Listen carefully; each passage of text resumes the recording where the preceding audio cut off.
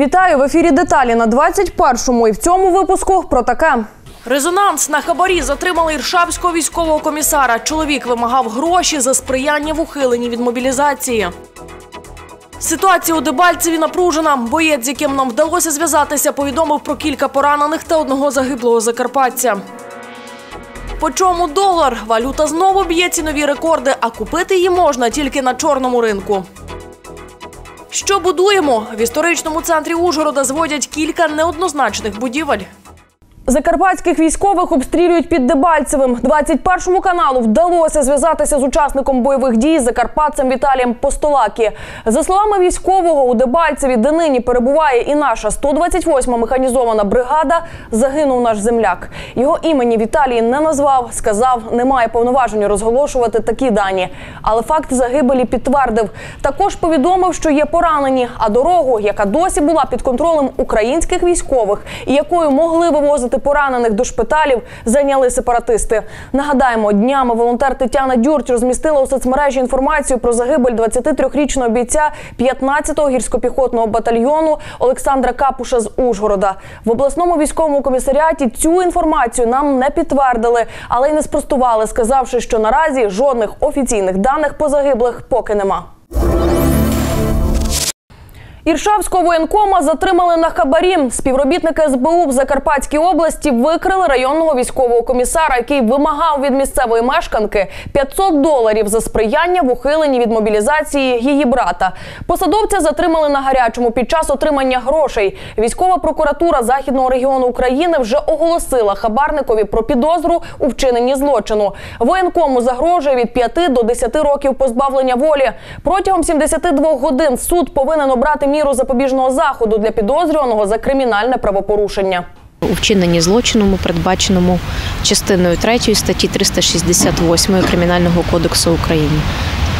Це прийняття пропозиції, обіцянки або отримання е, неправомірної вигоди службовою особою, поєднане з вимаганням е, неправомірної вигоди. Триває досудове розслідування.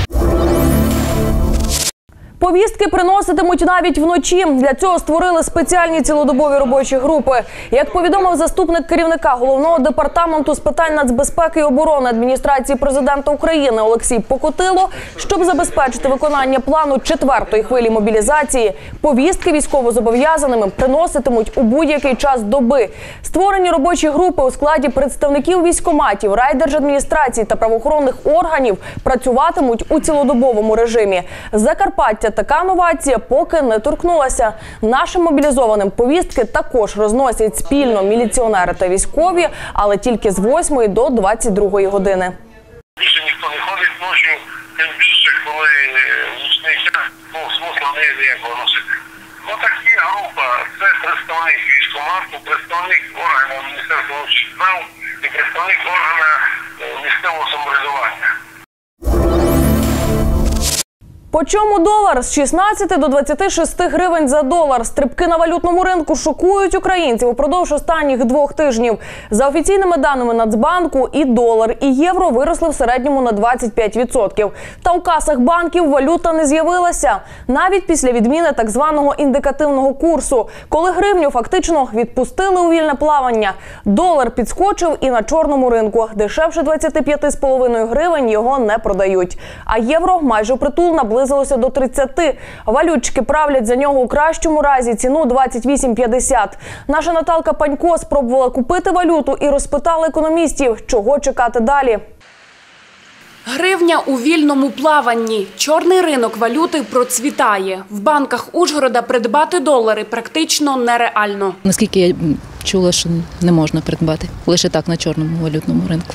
В закарпатських обмінниках та у валютчиків за долар нині просять від 24 до 26 гривень, за євро – 28,5. Якщо пощастить, придбати валюту можна в обмінниках, але вам продадуть не більше півтори сотні зелених. Долар, євро можна скільки купити? Перепрошую, не чую. На три тисячі гривень, так? Через такий дефіцит популярними стають валютні аукціони в інтернеті. На одному з найбільш відвідуваних середня вартість долара становить 25 гривень. І попит тут більший за пропозицію. Телефонуємо і пробуємо замовити. Валюта эту продаем, да. Ак- актуальна, так ще пропозиція? Какая, да, какая вам, евро или доллар? Долар. Евро 30 у меня там, а доллар 27. А можна придбати буде 300 доларів? Не проблема. Нема питань. Це маленькі суми. Вони ну, не варті того, щоб їх підвозити. Якби там тисяч десять було, я б Вибачте. Економісти стримані у прогнозах. Ринок сам стабілізує курс. Та навряд йому зрадіють українці. Нижче 20-22 гривень за долар очікувати не варто.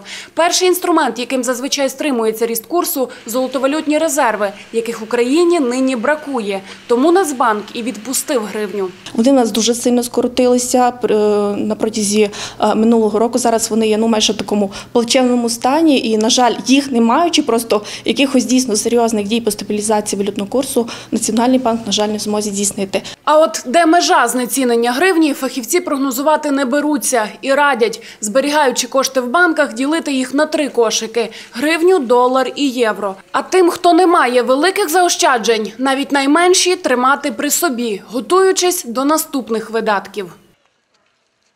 Що будуємо? У центрі Ужгорода зводять одразу кілька новобудов. На набережній незалежності з'явиться сучасна чотириповерхівка. Біля студентського центру Ювентус на Мукачівській будують триповерховий торгово-офісний центр. А цілісність історичного району Малий Галагов, спроєктованого чеським архітектором Франтішиком Крупкою, може порушити скляна дев'ятиповерхівка. Деталі просто зараз. Про дім, який колись стояв навпроти пам'ятника Августину Волошину на набережній Незалежності, нагадує лише цегляний слід на стіні сусіднього будинку. Протягом останнього десятка років тут була лише огороджена ділянка. Кілька тижнів тому почались роботи. З паспорта будівництва об'єкта видно, тут буде чотириповерхова новобудова. Даний будинок взагалі не впишеться в забудову набережної. Він буде трошки тяжіти над цією набережною. Для проекту саме будівлі в цьому місці потрібно щось більш компактне і зважати на поверховість забудови набережної і стилістику. Дозволи є. Порушень у будівництві офіційно не зафіксовано. Здати в експлуатацію планують наприкінці 2015-го. Тоді ж завершать і зведення новобудови на Мукачівській вулиці поряд з Ювентусом. Зараз тут демонтують стовпи останнього поверху. Вони мали стати каркасом закритої тераси, що фактично означало зведення четвертого поверху. А дозволу на це у забудовника не було. Тож через критику громадськості і скептичне ставлення до проекту архітекторів від ідеї четвертого поверху власник відмовився добровільно. Було прийнято рішення, що ці стовпи демонтувати і відкрасу і терасу залишити знову ж таки відкрито, так як вона була і дійсно по проекту. Це буде приблизно як торгово-офісні приміщення. Забудовник обіцяє, у стилі неоконструктивізму облаштують три поверхи і терасу.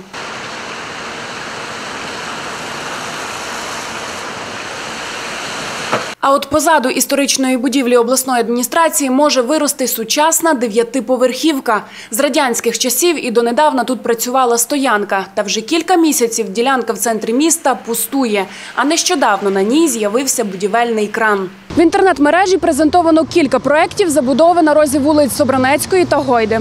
В управлінні містобудування та архітектури Ужгородської міської ради повідомили, що єдиної концепції поки немає. Тож яка будівля тут постане, наразі невідомо. Основним вважається проект, презентований на одному з тематичних сайтів з посиланням на сайт фірми-забудовника, де вказано, будівництво почнеться незабаром. Ця будівля без сумніву вплине на цілісність комплексу Малий Галагов, якому властива так звана фонова забудова. Люди, які кажуть, що там не можна нічого будувати, це я рахую, що це неправда. Її треба забудовувати, але ну по, по тим правилам, які були закладені колись концепцією в цілому того району. Тобто суцільна забудова квартального типу, три, максимум чотири поверхи. І тоді ми якось, яка повторює лінію самої вулиці. Найбільше новобудов у центрі впродовж останніх років з'являється на вулиці Феденця. Архітектори кажуть, ця вулиця яскравий приклад того, як не має здійснюватися забудова. Різні поверховість, об'єм, ідеї, типи забудов. Зрештою, хаос, що виник через відсутність концепції розбудови цієї вулиці. Досі немає генерального архітектурного плану самого Ужгорода, а без нього контролювати забудовників і зберегти унікальне історичне обличчя міста нереально. Залишайтеся з нами. Продовжуємо випуск коротким оглядом інших актуальних новин.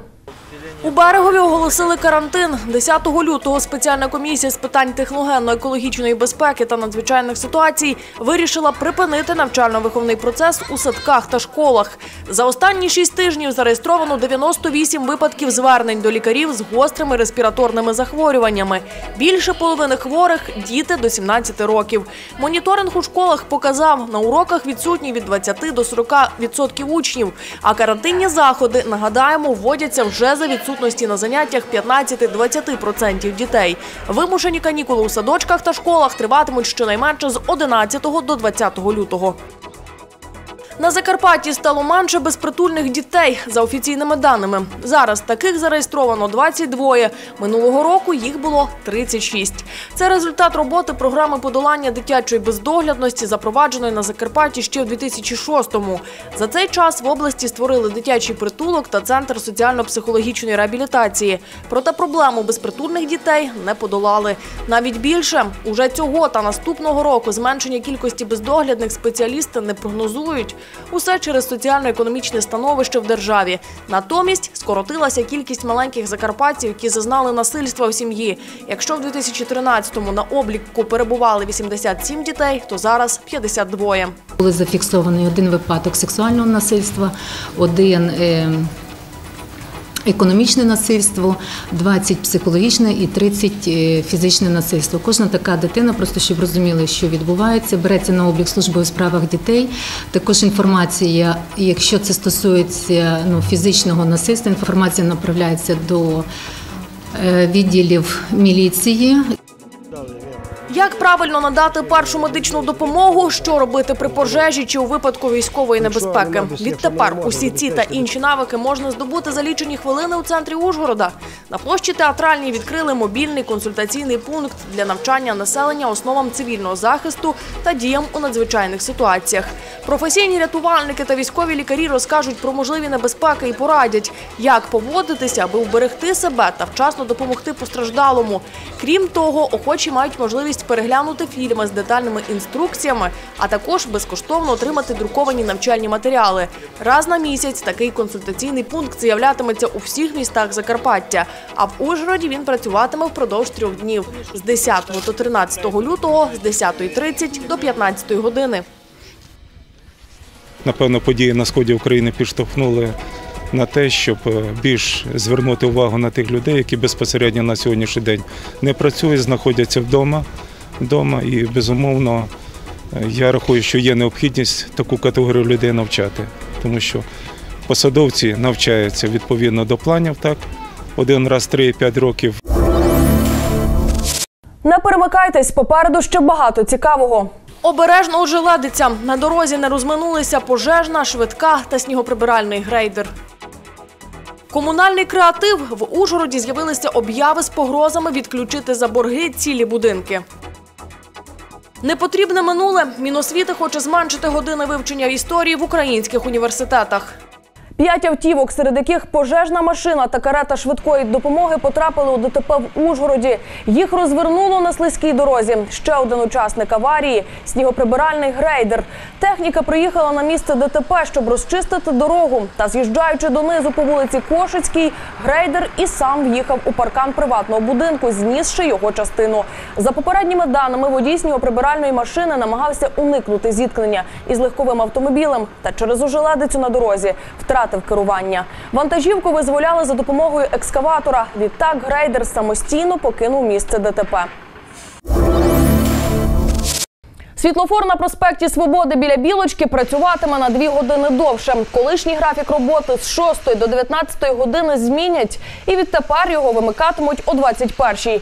Це убезпечить як водіїв, так і пішоходів. Адже на нерегульованому перехресті з інтенсивним рухом кількість аварій у темну пору доби збільшується. Нещодавно 21 канал порушував проблему роботи світлофорів та освітлення автошляхів на найбільш насичених автівками автомагістралях обласного центру. Тоді ми розповідали не лише про перехрестя на проспекті Свободи, а й про пішохідні переходи на Минайській та Грушевського. Сподіваємося, реакція буде і щодо останніх. Без води та світла погрожують залишити ужгородців. На під'їздах багатоповерхівок кількох мікрорайонів міста з'явилися листівки з вимогою 100% сплати комунальних рахунків. Інакше йдеться в об'явах у будинках вимикатимуть водопостачання та електроенергію. Жителі непокояться, а в жрерах кажуть, до цього не причетні. То чий це креатив і чи має він юридичне підґрунтя, розкажемо далі. Такі обяви на під'їздах будинку по вулиці Станційній з'явились кілька днів тому. Адресовані мешканцям, підписані жрером. Світлану Кулінець цей інформаційний сюрприз спантеличив. Жінка щомісяця сумлінно сплачує за водопостачання та електроенергію. й обурюється, що через кількох боржників весь будинок можуть залишити без світла та води. В каждом подъезде как ну, минимум два- две-три семьи, может, и не платят квартиры. Кто-то выехал, это самое, кто-то не в состоянии, но, так кто-то из принципа не платит. Конечно, возмутительно. Вот ходим с подъездом, жалуемся между собой, ну, просто боимся, что жаловаться-то бесполезно, все равно же делают, как делают. Ну. А Сергій Лукін скаржиться. Водопостачання у будинку і без того за графіком, тому повне відключення паралізує життя мешканців. Вода по графику идет. Там с 6 до 9 утром, а в обед э, с 12 до 2 и вечером с 6 до 11. Я постоянно все, все по счетам оплачиваю. Чуть не в недоумении. То есть, э, получается, это как? Если я оплачиваю стопроцентно, я до- должен буду терпеть э, води воды из-за того, що другі не оплачують. Йдемо розбиратись до місцевого жреру. Комунальники кажуть, вони лише виконавці. Повісити об'яви їх попросили в департаменті міського господарства.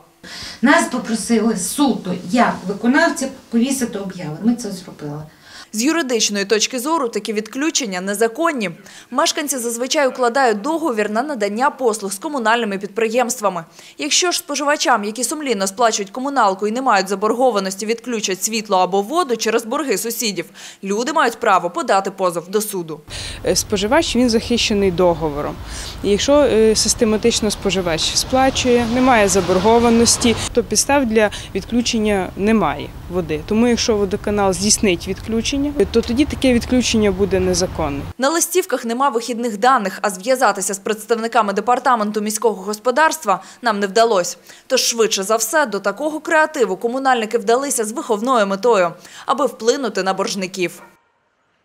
Закарпатські виші самі вирішуватимуть, чи вивчати студентам історію України. Після скасування наказу про організацію вивчення гуманітарних дисциплін за вільним вибором студента цей предмет випав із переліку обов'язкових. Цим наказом також встановлювалися мінімальні обов'язкові обсяги викладання гуманітарних дисциплін за вибором студента вузу. Таким чином хочуть наблизити українську освіту до рівня європейської, стверджують у міністерстві. А вузам така реформа може дати більшу автономію. От тільки чи не призведе це до роздільності в самих навчальних установах. Викладачі стверджують, відміняти історію України як обов'язкову дисципліну, особливо зараз, недоцільно. А шкільна програма, хоч і насичена, не зможе замінити вузівську. Ми запитали у закарпатців, чи підтримують вони таку урядову ініціативу і чи вважають за потрібне докладно вивчати історію. Відповіді у нашій традиційній рубриці Громадська думка.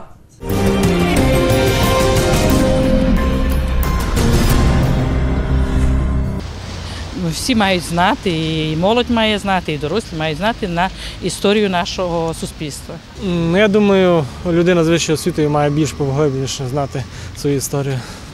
Та історія, яку викладають е, одним семестром, для людей, які прогуляли в школі 10 років викладання, нічим не допоможе. Насправді, якщо людина хоче знати історію своєї країни, вона її знатиме. Потрібно знати свою історію і ну, багато є там позитивних моментів в історії. Ну, Просто є цікаво. Ні в якому разі не можна відміняти. Діти повинні знати своє минуле. Учать біологію, хімію і не так серйозно відносяться до історії. Тому ну, є така е, вимова, е, ніби, що той, хто не знає своєї історії, не має майбутнього. Тому дуже важливо знати історію. Все ж таки, я думаю, що деякі моменти вони забуваються навіть в вузі. Тому ну, було б непогано хоча б на, ну, напевно, на якихось лекціях висловлювати це. А, ну тому що все одно не запам'ятаєш е, під час школи все, треба все повторювати, щоб знати досконало. Так різні є вузи. Тобто десь треба, десь не потрібно. А взагалі ну, проти відміни повністю.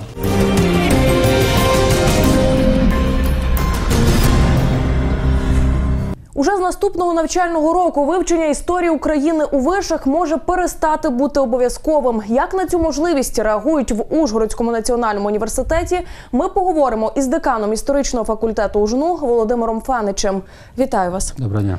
Розкажіть, будь ласка, як може змінитися навчальний процес, якщо ці нововведення все ж приймуть? Ну на краще він не зміниться. Поза всякого сумніву, треба бути свідомим того, що зараз, особливо в нинішніх умовах, гратися профільному міністерству із тим, щоб ставити питання на добровільне вивчення чи вивчення за вибором студентами таких соціально орієнтованих дисциплін і гуманітарних, як історія України чи історія української культури, поза всякого сумніву, є не на часі, принаймні не на часі зараз. Те, що стосується тих е, ну, очікувань у суспільстві, які в нас є, звичайно, що ми повинні не забувати, що незважаючи на те, що є е, новий закон про вищу освіту, і суспільство починає потихеньку привикати до нього і імплементувати його у своєму навчальному процесі. Тим не менше, ми повинні бути свідомими того, що разом із тим.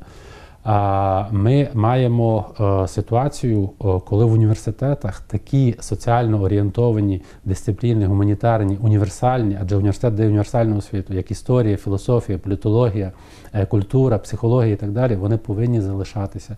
У європейських вузах вони є.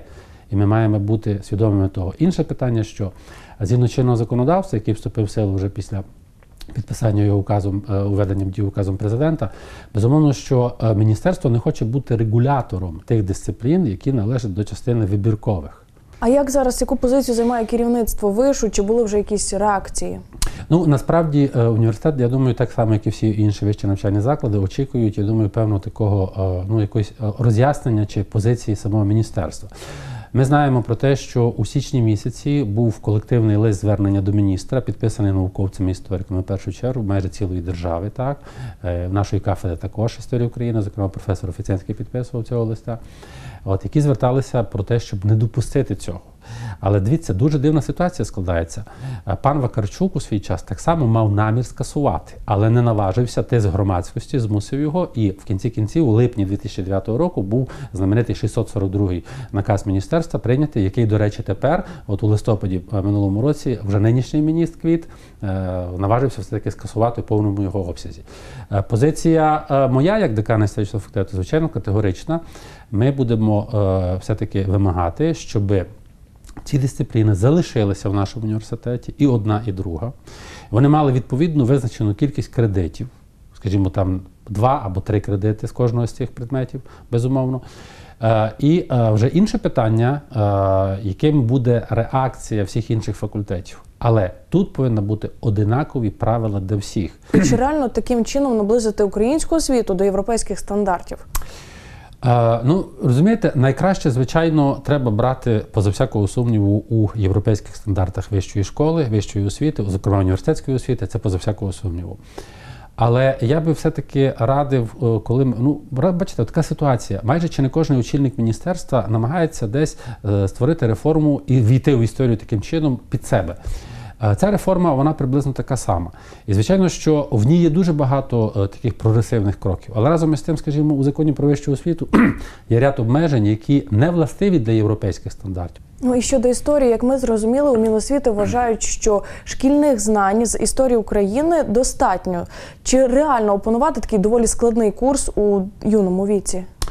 Ну, по-перше, шкільна програма з історії є настільки переобтяженою, що опанувати її нереально. І не тільки з історії, але й з усіх інших навчальних дисциплін. Тут міністерство повинно задуматися, що перед тим, як реформувати вищу освіту, обов'язково мала бути реформована до цього е, система середніх, е, середньої е, загальноосвітньої школи. Так? Цього поки що не відбулося. Університет це академічні свободи в першу чергу. І лектор, і студент повинні цим користуватися на повні груди. Якщо ми будемо цього не розуміти, от в школі має бути певна прописна істина, там існує певна дидактика. А в університеті цього не може бути, тому що це вільне середовище. Вільне середовище і тих, хто реципієнти, хто отримує, і продуцієнтів, хто дає ці знання. І поза всякого сумніву, тут ми повинні знайти знову ж таки спільну мову і виробити якусь спільну програму. Але однозначно історія України, історія української культури повинні залишитися у навчальному процесі вищої школи. Зрозуміло, спасибі за розмову. Дякую. 80% закарпатців потребують стоматологічної допомоги. Проблеми з зубами, кажуть стоматологи, виникають і через природні фактори. Закарпаття належить до регіонів біохімічного дефіциту фтору та йоду. Особливо фахівців турбує дитяче здоров'я. Карієс, парадонтоз, стоматит. Усе це і не тільки відтепер лікуватимуть у новій сімейній клініці в Ужгороді. Більше у сюжеті. Страшно йти до зубного. В Ужгороді відчинили сімейну стоматологічну клініку, яка зруйнує старі стереотипи: пломбування, анестезія, хірургічні втручання. Все це за новітніми технологіями та доступними цінами, обіцяють медики. Взяв ко вниманию э, сложившуюся ситуацию в стране, мы старались э, подходить э, очень лояльно к ценовой политике. У нас будет действовать программа для детской стоматологии, для социально необеспеченного класса населения. Головна особливість закладу кабінет для маленьких пацієнтів. Для роботи з дітьми підбирають фахівців, які закінчили спеціальні курси у столиці. Якщо ж у малечі панічний страх стоматолога, що найчастіше буває у віці від 5 до 12 років, лікувати пропонують під легким наркозом. Таку послугу раніше надавали лише у Львові та Києві, а відтепер і у нас. Особливістю нашої клініки буде, що в найближчий час ми впроваджуємо працювати під наркозом з дітками, що значно полегшить роботу із е, юними пацієнтами, які не можуть лікуватися стандартними методами. По-особливому тут ставляться і до безпеки пацієнтів. Запевняють, ризик зараження інфекціями знижений до нуля. Обладнання нове, сертифіковане за світовими вимогами безпеки пацієнта. А інструменти після кожного використання проходитимуть обробку та дезінфекцію спеціальними засобами, які обладнані індикатором контролю якості стерилізації. Всі інструменти у нас пакуються в одноразові пакети і зберігаються в них, і транспортуються в них по клініці. Коли ми стерилізуємо всі інструменти, ми знаємо, що ми нічого не можемо занести іншому пацієнту. Ще півтора роки тому ця стомат-поліклініка мала зовсім інший вигляд. Застаріле обладнання, некомфортні умови, протікаючий дах. Сьогодні вона отримала друге життя для того, аби робити усмішки закарпатців здоровими. Спортивні біженці, тренери з Донеччини та Луганщини шукають нові місця роботи і знаходять на Закарпатті. Кажуть, війна відібрала можливість займатися улюбленою справою на рідній землі. Тому переїздять в інші регіони країни, туди, де їх праця потрібна, щоб навчати дітей. Історії таких людей у Дениса Фазикаша. В очах спортивний азарт, в розмові туга за краєм. Любов Чупріна, майстер спорту з художньої гімнастики. Тренером працює не так давно, але в Донецьку встигла виховувати вісьмох кандидатів у майстри спорту. Улітку покинула рідний дім. Займатися спортом на Донбасі стало небезпечно. Потому что идет война, все закрыто, школы, ну, все, школы, садики, ничего не работает. Работы нет, зарплат нет и так далее. Тепер займається з дітьми в Ужгороді та Перечині. А в Мукачеві працює її подруга, також тренер із Донецька Яна Мороховець. Обидві спеціалістки зізнаються, їм тут подобається. На Закарпатті умови для гімнастики одні з кращих. Детки-то все хорошие, как бы занимаются, стараются. Условия для работы хорошие. Детки просто, да, было более, больше с- это, школ, тренеров там было побольше. Ну, здесь в Закарпатті теж хороший уровень, достатньо. А Віктор Мельник цієї весною буде розвивати закарпатський велоспорт. Раніше працював у Донецьку і робив це досить успішно. Він заслужений тренер України, виховав 15 майстрів спорту та чемпіона світу з велотреку. Тікаючи від війни, чоловік опинився в Ужгороді. Зараз зайнятий ремонтом. На базі 20-ї школи власними руками будує клуб для велосипедистів. Я Приехал э, потому, что здесь э, и климат хороший и есть возможность работать. Э, Место хорошее, а велоспорт здесь очень любят, здесь очень много велосипедистов. Э, Но нужно, чтобы больше в Украине отсюда выходило чемпионов. Тренери зізнаються, Закарпаття має всі шанси стати спортивним центром України. Можливо, їхній фокус був на Закарпаття, знаючи, що, що так чи інакше, але тут будуть відбуватися офіційні чемпіонати. Тут більшість захоче проводити навчально-тренувальні збори, і, можливо, самі тренери вони фокусувалися на Закарпатті за цих от географічно-кліматичних умов. Фахівці сподіваються, завдяки тренерам зі сходу в області з'явиться конкуренція та нове бачення у підготовці спортсменів. І від цього закарпатський спорт тільки виграє. Такими були інформаційні деталі цього дня. Наші матеріали ви можете переглянути на сайті 21tv.info. Якщо ви знаєте інформацію, яка потребує висвітлення, зв'язуйтеся з нами через розділ контакти. На все добре.